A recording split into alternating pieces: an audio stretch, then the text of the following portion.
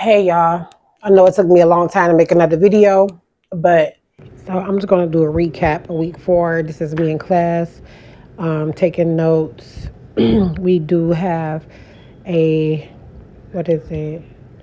Exam, quiz, something coming up.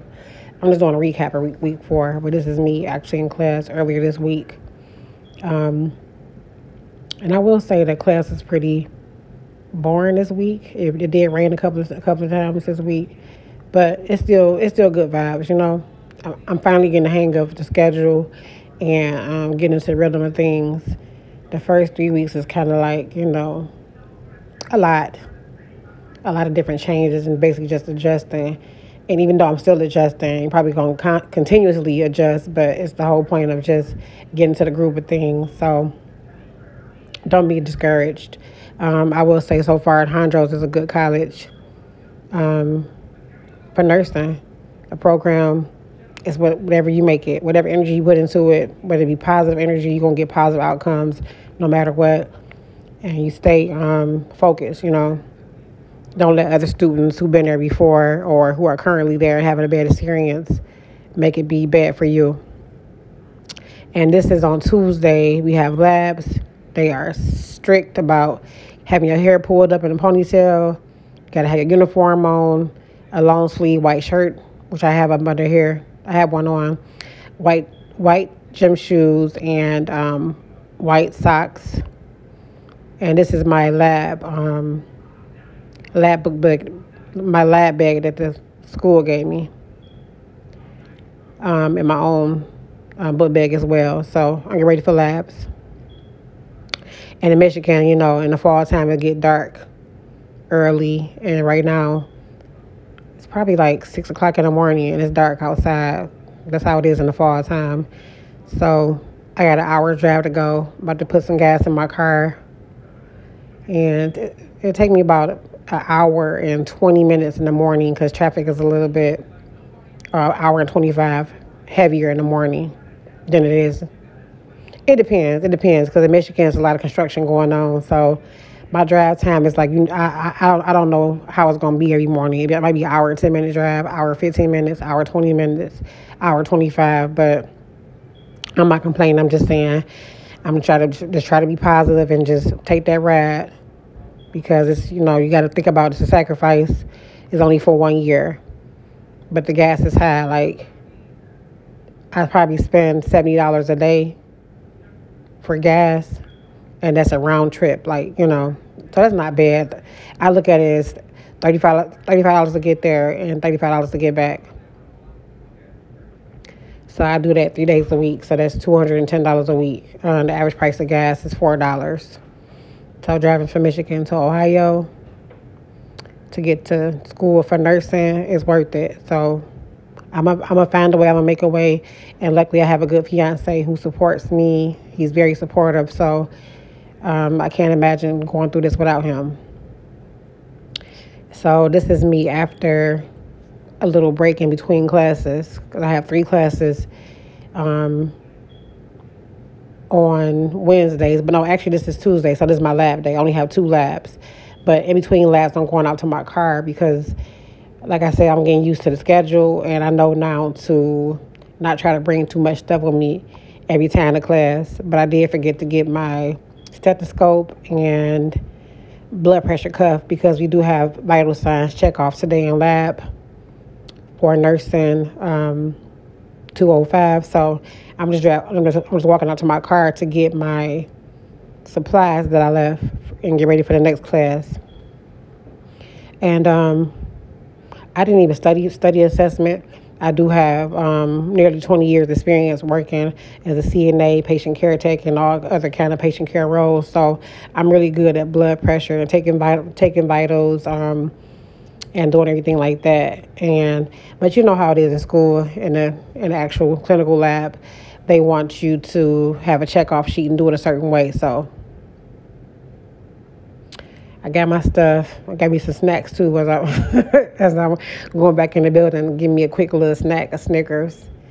And, oh, my hands are dry. It's cold outside today too, so that's that.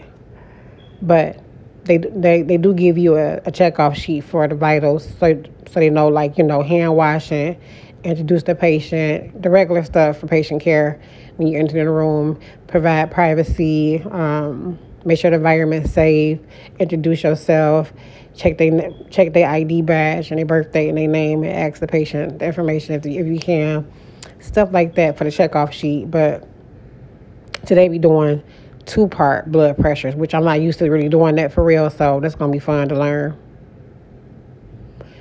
Yep. So today it was fun in, in in school. It was it was decent. It wasn't a bad day, but my daughter, you see her in the mirror. She didn't go to school today.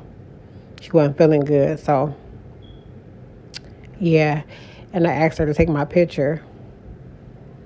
But you know how kids be my little socks. I did, and I hate wearing socks, but I've been addicted to wearing socks since um, I'm addicted to different looking socks for this program just to make it fun because I hate wearing socks, y'all. But are my lab socks for today.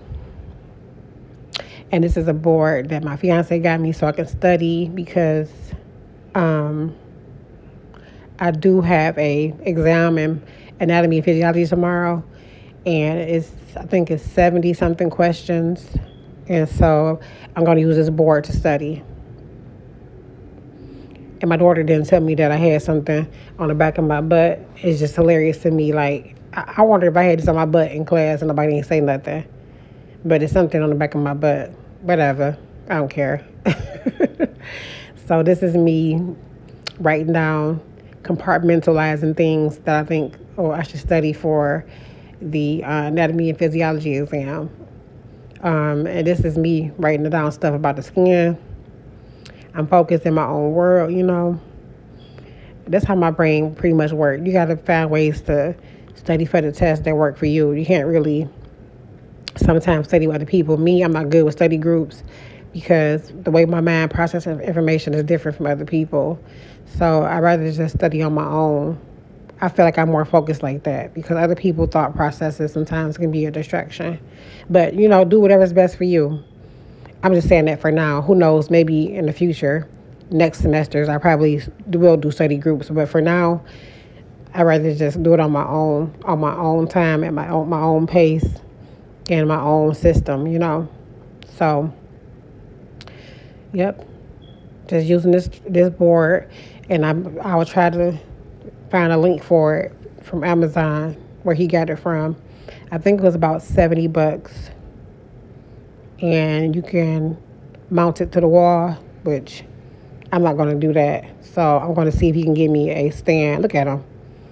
He getting ready for work, but he's standing, standing there talking to me. I told him to beat it. Cause I'm focused, y'all. I told him to beat it, but I'm gonna miss him. He work. He he work um 12 hours a day, engineer manager, hard working. But this is me the next day. Like I said, I, I love you some good, cute compression stockings. Um,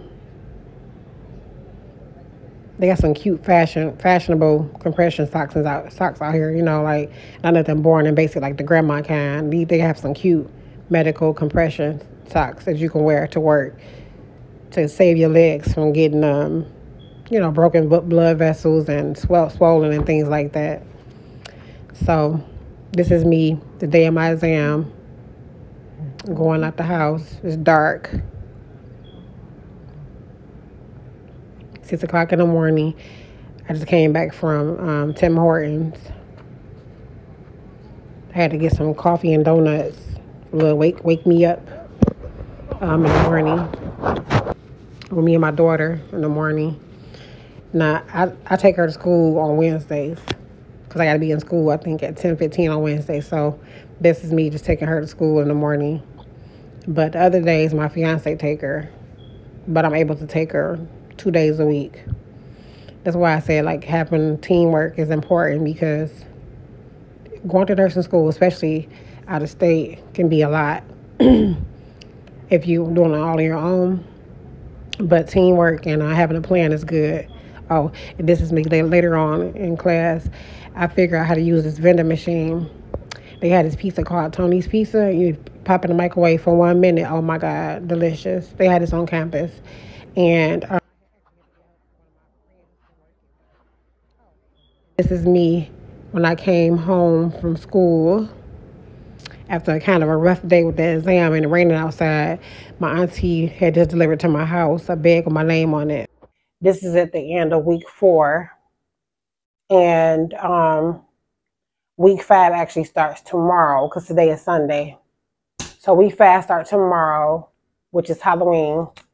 And they actually sent out an email saying that we can wear a Halloween costume. We'll have to wear a school uniform, but I don't, I don't think I got time for all that. We'll see. I might throw something on my head. I don't know. But anyways, so let's let me just talk about week, four. I'm gonna have to do the other weeks another time, or I might just do it all together right here. But week four. Okay, let me just say I have three classes for my first term at Hondros. I have biology, which is basically anatomy and physiology, part one. I have transitioned to nursing. Um, and I also have critical thinking for nursing. So for my transition to nursing class, it's actually supposed to be a class for people who are already already nurses, like LPNs becoming RNs. But uh, they have this new thing called direct entry, where if you have a, like a degree, a science degree, or um, enough college credits or some kind of um, I think that's really it. I think you got to have college college credits or a science degree or already be an LPN to be in this Hondros accelerated um, 15 month registered nurse program. So in my case, I already have college degrees. I have medical experience, and uh, also you have to take the HESI entrance exam. So, like I said, this is week four, and um, this week was a good week. It, actually, it was kind of boring though. It's kind of boring. Like it was like a lot of talking in class that was like boring. But for my one class um, with Professor Reimer, I like her a lot. She's very, I think she's a good um, professor because she talks about things for nursing she gave us good experiences, but also she sticks to the curriculum. So when it's time to take a test or time for us to have answers about the topics that we're talking about, we don't be lost. Professor Reimer, she's really good with um, making the subjects for each week relatable during lecture. And that's important because um, otherwise it'd be boring. And for me personally, it's hard for me to learn. If I'm bored, it's hard for me to learn. So um, this week, Okay, so my other class is transitioning to nursing, which is nursing 205, and it's a different professor. She's new to the campus. She just started um, this summer. So she started like two months before I started. And a lot of things she's still getting familiar with. It's hard for her to like maneuver or whatever, but she's really a sweetheart. Professor Nelson is a sweetheart. But I will say that for the class, we have something called a pre-class assignment. For both the nursing classes, we have pre-class assignments, which means it's an assignment that has to be handwritten uh, and scanned and submitted um, before class start. It could be one minute before class start, 10 minutes before class start, hour before class start, but you got to make sure the assignment is done before class start. So in class, um, I'm like, y'all, I got an F on my pre-class assignment this week. And um, I was talking about it, and I guess people probably were scared to talk about it. But once I started talking about it, they started talking about it too. They're like, "I got an F two, I got an F two. Long story short, it seemed like only two people in the class got an A on the assignment. Now, this this assignment is, to me is either an A or an F because it's really just our own personal thoughts, and some of it some of it is um, based on um, facts, but for the most part, I don't see how somebody can get an F on assignment unless they just totally didn't do it. So me personally, I don't I don't get Fs on assignments. So I was like, oh no, I'm not going for this. Something ain't right. I got to figure out what it is. So once I started talking about me getting an F on my assignment, the class started talking about it too, and we emailed the um the person who they told us to talk about our grade, and come to find out this lady not even our professor. She just helping out our professor for the class, and she gave us Fs. And basically, she said the information was missing. but the information they said was missing, I had on my paper. So long story short, our professor said she's going to take over and grade the papers herself um, to alleviate any misunderstandings. So it's been it's been since Tuesday, and I'm still waiting for her to change my grade from an F to whatever it's going to be, A, B, or C. But which I think it should be an A because I don't see why why would it be an F. So she took my paper and said she gonna give she gonna give us a um, review and look at the grade and make sure she changed it because looking at my paper, she know I don't I don't deserve, deserve to get no F or no. I should get an A honestly. Long story short, okay, so let me let me move on anyways. But so far, week four, um, I like the anatomy teacher, um, Dr. M. You can call him Dr. M, Dr. Malaki, um, Professor Malaki, Professor M whatever you want to call him. He's a really nice guy. Pe- people think he's mean. He, I mean, he can't be looked at as mean because he's very strict. But me being a grown woman in a nursing program and, and in college, period, I know better because I'm an experienced student to know that college is not the same thing as high school, and especially nursing program. You have to earn. You have to earn your grade, earn everything that you want. You have to earn. And he's a serious man. Me personally, I'd rather have a serious teacher who's going to teach me, and I have to earn my grade than a teacher who's nice and bubbly, but doesn't teach me anything, and I'm I'm setting up being set up for failure. That's me personally. So me, Dr. Malaki, I like him a lot. Um, people say he's um, mean. His class is hard, but I feel like he give you everything that you need to be successful in his classroom. Like I'm talking about from the from the tests, I mean from, from the quiz to the lab assignments to the classroom lectures to the to the um, PowerPoint presentations that he do in class. Like to me, if, if you're not studying, then maybe you'll have you will struggle with it. I'm sorry, if you you're not studying, you might as well just not even come to his class because you're not gonna pass. If you are studying, some people might still struggle, so I understand that part. But for the most part, I feel like he give you everything you need to be successful in his classroom even if you are getting C's, that's still good for his classroom. So far, we had two exams. No, we, we had one exam and one quiz, and I got an A on the quiz. I got a C on my exam, which is 60 something questions, which is good actually for his class. Because he, he said people never pass his exam. So me getting a C, I feel like, okay, it's the same thing as me getting an A. Um, but so far, I got all A's in his class. I got like nine A's. No, I got 10 A's and one C in his class. And this is week four.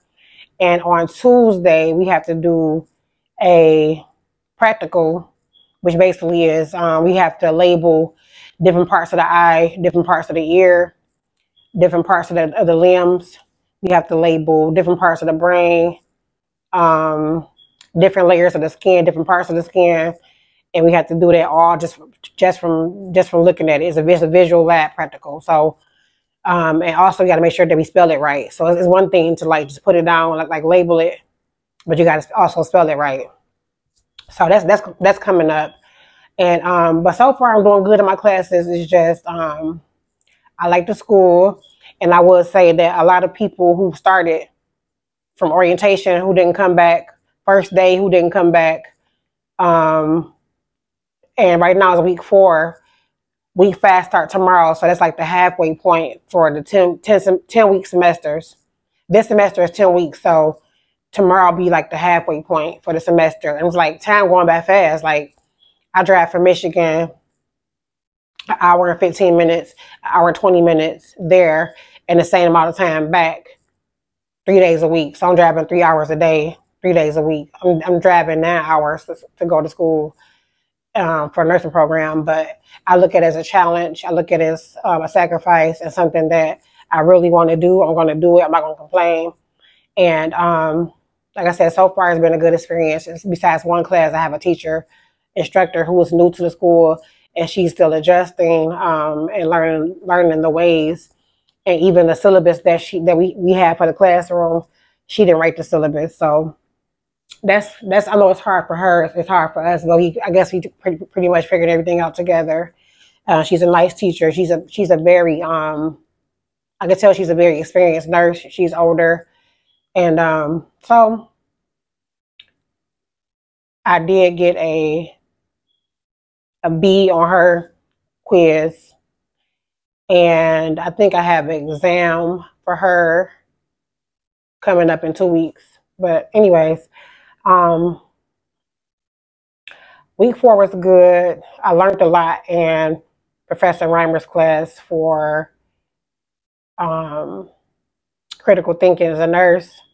And I like the way she um, makes us, she pretty much beats, beats it in your head to know like it's the difference between thinking like a nurse and, acting and acting and doing the job as a nurse. Like it's two separate things, but they go together, but you got to know how to plan and think and know what's what's about to happen, what's happening all at the same time and what might happen. So it's like she wants you to think like from the possibilities, what's currently happening, and what could happen. I like her a lot. I had my first exam for biology last week on, on, on, week four, and they had two proctors come in, which is basically people just standing in the room, walking around to make sure nobody's cheating, stuff like that. Um, I don't know. I think I think it was a good week. And um, week five, I think it's gonna be a good week. It's um a little stressful because I start my job, the job that I worked in the hospital doing patient care on telemetry before COVID hit in 2020 and I got COVID, and I, it made me pretty much handicapped for a year.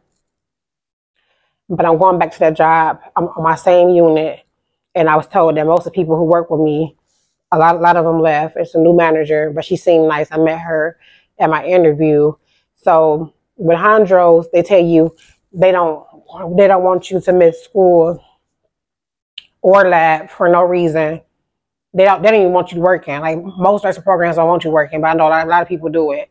But at Hondros, because the, the classes, the classwork is, is so like accelerated, so fast paced, like you can have so many assignments in one week. Like I kid you not, I probably can have like 15 major things I got to do each week between lab, lecture, assignments, quizzes, um, exams, and um, practicing practicing for um, lab lab assessments.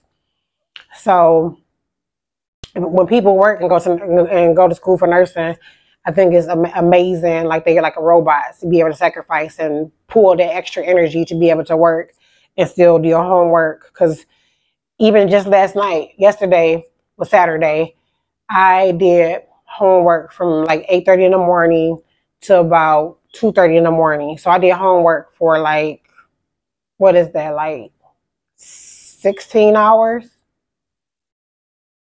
17, maybe like 18 hours. Almost 24 hours I was doing homework.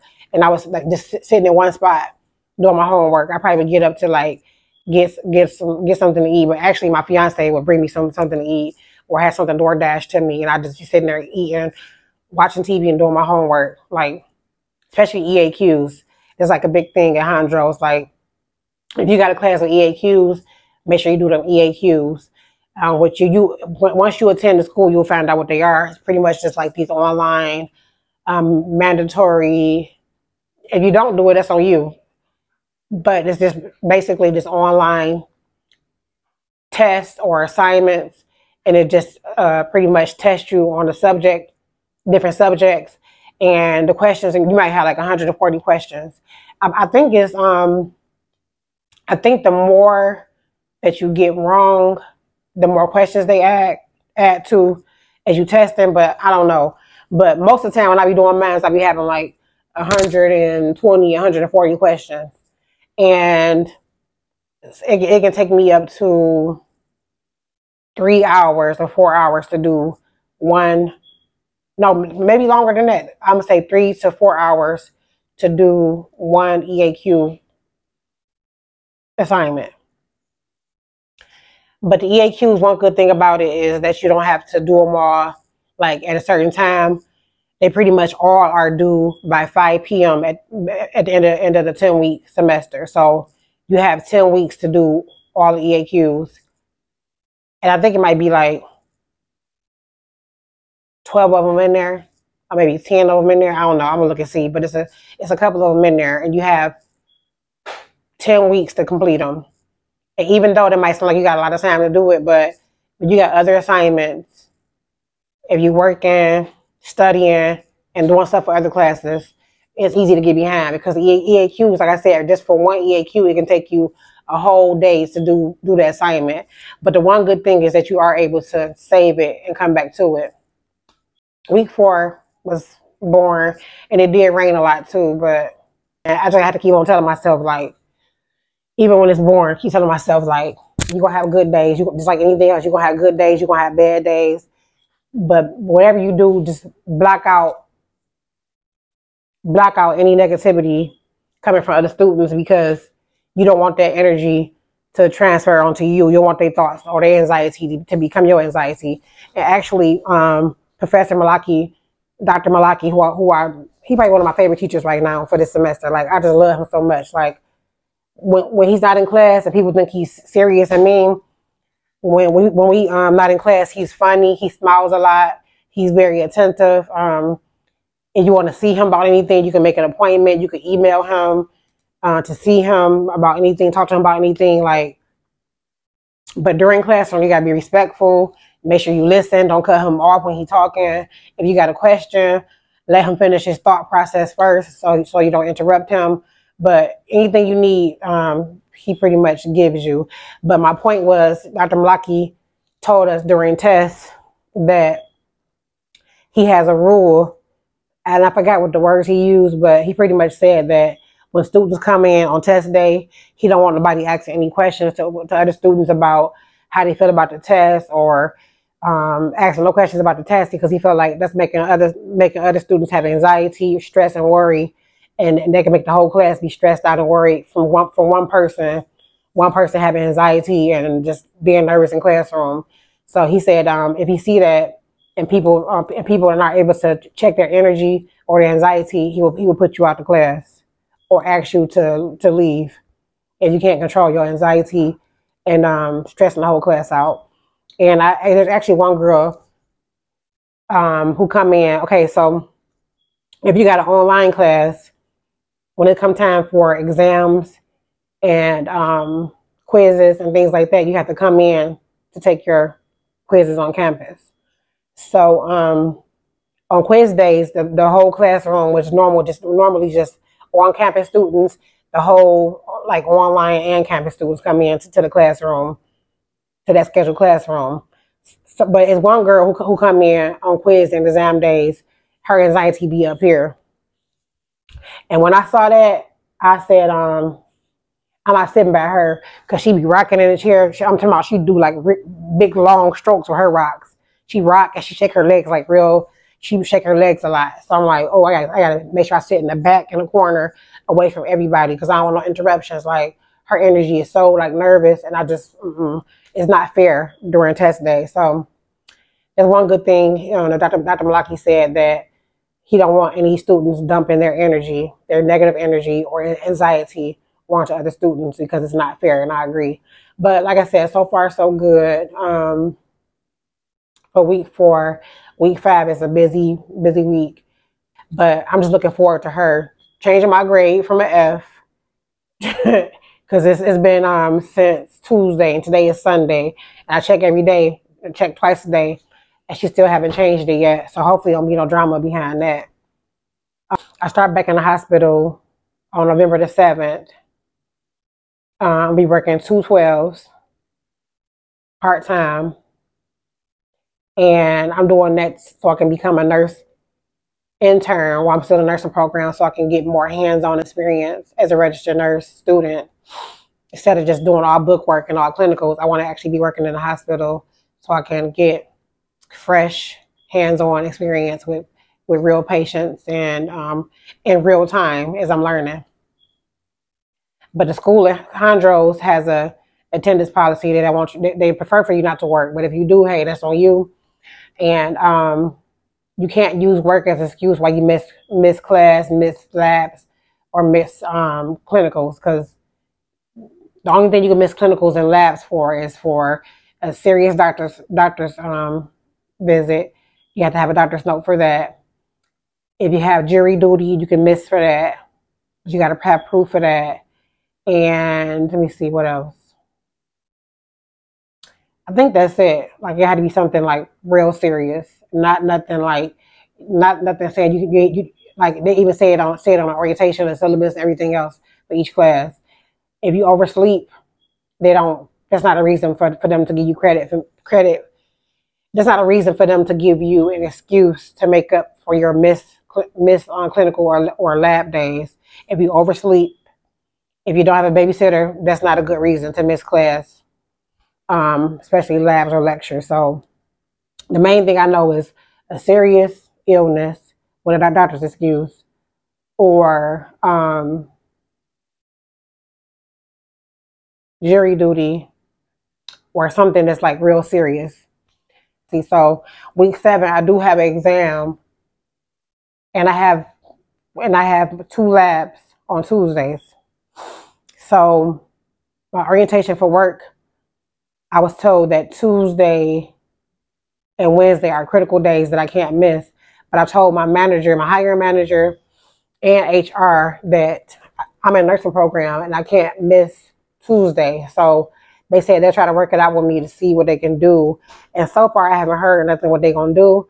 But me personally, I'm gonna tell you that I'm I'm not missing school because I don't want I don't want to want to make up I don't want to make up that um that lab day. I don't want to do no makeup test. I don't want to come in on a Saturday when I really can just like make up my work orientation.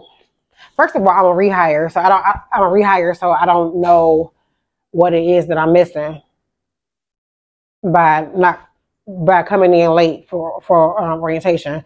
So my plan is to just go to school, because my lab is just from 8 to 10.15 and then I think 10.15 to 12.15.